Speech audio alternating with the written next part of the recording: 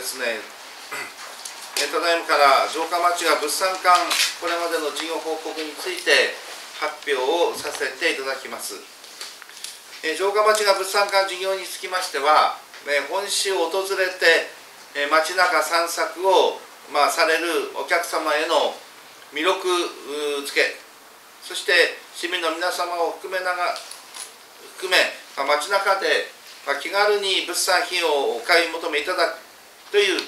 まあ、地場産品の新たな販路拡大を図るということを目的といたしまして、まあ、関係する団体と、まあ、調整を重ねまして7月1日から取り組んでいる